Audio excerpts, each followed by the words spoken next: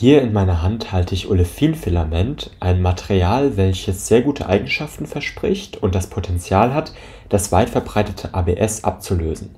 In diesem Video schaue ich mir das Filament im Detail an, teste, wie gut es sich drucken lässt und führe meine Standardversuche zu den mechanischen und thermischen Eigenschaften durch, um es mit ABS und ASA vergleichen zu können. Eines kann ich jedoch schon vorwegnehmen, Olefin hat mich im Laufe meiner Tests mehrmals überrascht und ihr solltet dieses Material auf jeden Fall kennen. Bleibt daher dran, hier bei Jantech.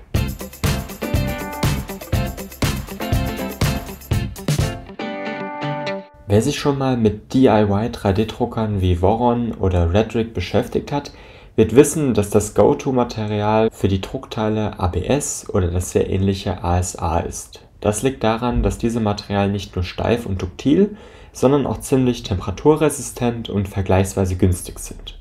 Die Temperaturbeständigkeit ist besonders wichtig, wenn die Drucker umhaust werden. Gerade in der Nähe von Hotend und Heizbett können über einen sehr langen Zeitraum hohe Temperaturen herrschen Neben den ganzen Vorteilen hat ABS allerdings auch einige Nachteile, wie zum Beispiel, dass es stark zu Warping tendiert, demnach für Anfänger oft schwieriger zu drucken ist und je nach Hersteller relativ starke Gerüche und Dämpfe beim Drucken entstehen. ABS enthält Styrol, was als gesundheitsschädlich gilt. Bisherige Alternativen wie diverse PC-Blends konnten ABS nie wirklich ablösen, da sie tendenziell noch schwieriger zu drucken sind oft weiterhin ABS enthalten und dazu nochmal wesentlich mehr kosten. Vor einiger Zeit hat mich Albert von 24/7 Printing angerufen und mir von Bavafil Olefin erzählt. Albert baut auf seinem Kanal Highspeed Core XY 3D-Drucker und optimiert dabei immer wieder einzelne Baugruppen wie die X-Gantry oder Bauteilkühlung das Olefin verspricht neben ABS-ähnlichen mechanischen und thermischen Eigenschaften auch eine geruchsfreie Verarbeitung und kostet etwa so viel wie ABS.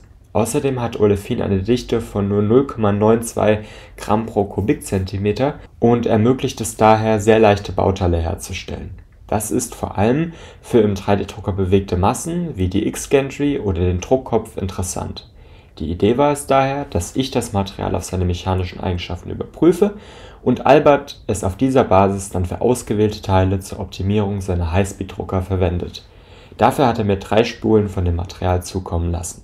Das Bavafil Olefin wird von Bavaria Filaments hergestellt und kommt, wie es Name und Verpackung auch schon verraten, aus Bayern Zurzeit wird das Filament in sieben verschiedenen Farben angeboten, schwarz und weiß eingeschlossen. Die 850-Gramm-Spule kostet zurzeit 29,95 Euro direkt im Shop von Bavaria Filaments. Alle wichtigen Daten zur Verarbeitung stehen direkt beim Artikel dabei. Bei den mechanischen Eigenschaften gibt es meiner Meinung nach noch etwas Luft nach oben, aber dafür lohnen sich dann meine Tests in diesem Video umso mehr.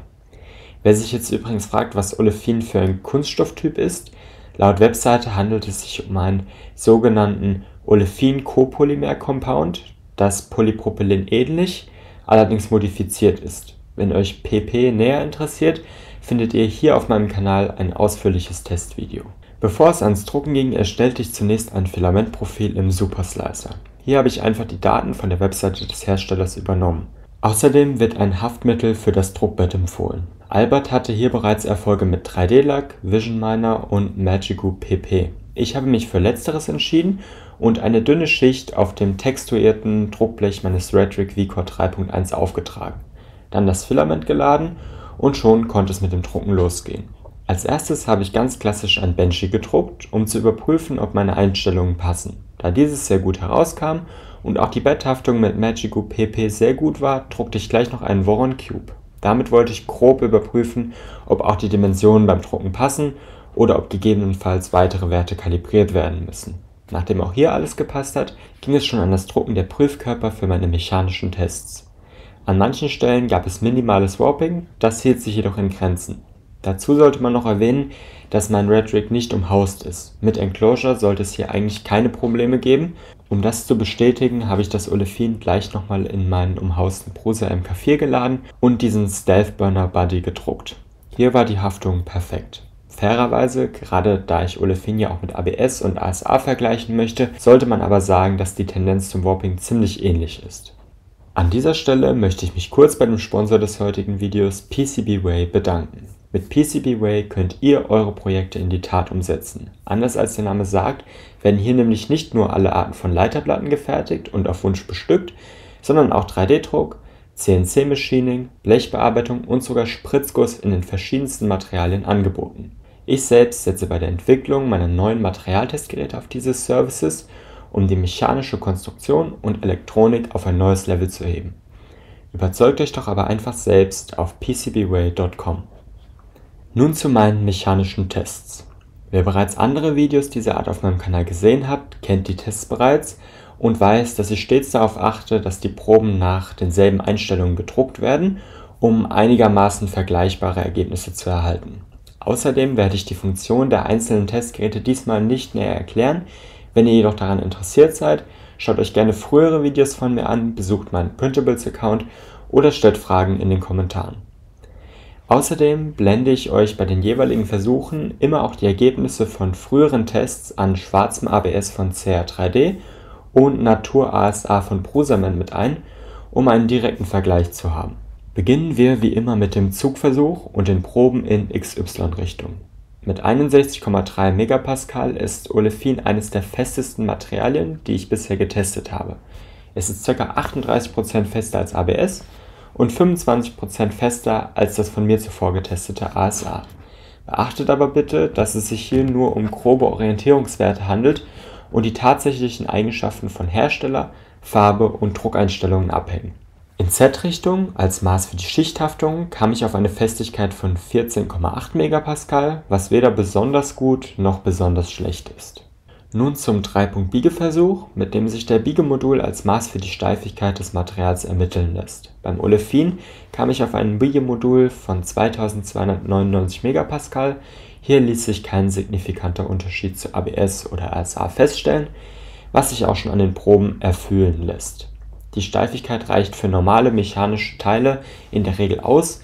Bei Halterungen oder Verbindungsplatten, ich denke hier zum Beispiel an die Halterung eines Extruders auf dem Carriage, kann höhere Steifigkeit wünschenswert sein. Dann sollte man sich Carbon- oder Glasfaserverstärkte Filamente ansehen, die in immer mehr Ausführungen und mit verschiedenen Basismaterialien angeboten werden. Bei der Kerbschlagzähigkeit kam ich auf 5,9 kJ pro Quadratmeter, wobei es sich hier um den Mittelwert aus drei Proben handelt. Sie ist verglichen mit ASA und ABS sehr niedrig und ähnelt der Zähigkeit von PLA, PETG und faserverstärkten Filamenten. Nun zum Temperaturtest. Dafür habe ich den Balken vom 3-Punkt-Biegeversuch erneut ausgedruckt, diesmal mit 30% Gyroid Infill. Im Anschluss habe ich diesen zwischen zwei Aluprofilen mittig mit einer Mutter beschwert und in einen aufheizenden Umluftbackofen gestellt. Die Probe im Vordergrund ist übrigens aus Fishy Filaments PA6, den ausführlichen Test findet ihr ebenfalls hier auf meinem Kanal. Beim Olefin kam ich so auf eine Temperaturbeständigkeit von bis zu etwa 80 Grad Celsius, was etwas niedriger als die des ABS und ASA ist, für die meisten Anwendungen wie die Druckteile von umhausten 3D-Druckern jedoch völlig ausreichen sollte. Nun noch mal kurz zur bereits angesprochenen Dichte. Die hier gezeigten Werte habe ich nicht selbst ermittelt, sondern aus den Datenblättern der Hersteller übernommen. Der Vergleich zeigt, dass Olefin eine wesentlich geringere Dichte als die anderen üblichen Filamente hat Daher lassen sich sehr gut leichte Bauteile herstellen, die für den Modellbau oder schnell bewegte Bauteile in Druckern sehr interessant sind. Insgesamt bin ich vom Olefin wirklich positiv überrascht. Häufig sind solche, ich nenne sie mal Sondermaterialien, sehr schwer zu drucken oder überdurchschnittlich teuer. Das Olefin hat insgesamt gute Eigenschaften und lässt sich dazu relativ einfach und vor allem geruchlos verarbeiten. Ich sehe das Material überall dort, wo man besonders leichte Bauteile benötigt oder die mechanischen Eigenschaften von PLA zwar ausreichen würden, die Temperaturbeständigkeit aber zu gering wäre. Konkrete, auch vom Hersteller angegebene Anwendungen sind Spielzeuge, Modellbau und mechanisch beanspruchte Teile. Nun möchte ich noch die zu Beginn gestellte Frage beantworten, ob Olefin eine würdige Alternative zum verbreiteten ABS darstellt. In meinen Augen tut es das, allerdings nur für bestimmte Anwendungen. Um ABS endgültig abzulösen, müsste es meiner Meinung nach nochmal einfacher zu drucken sein und im besten Fall eine höhere Kerbschlagzähigkeit aufweisen. Doch was denkt ihr von Olefin? Lasst es mich in den Kommentaren wissen. Danke fürs Zusehen und bis zum nächsten Mal hier bei Jantec.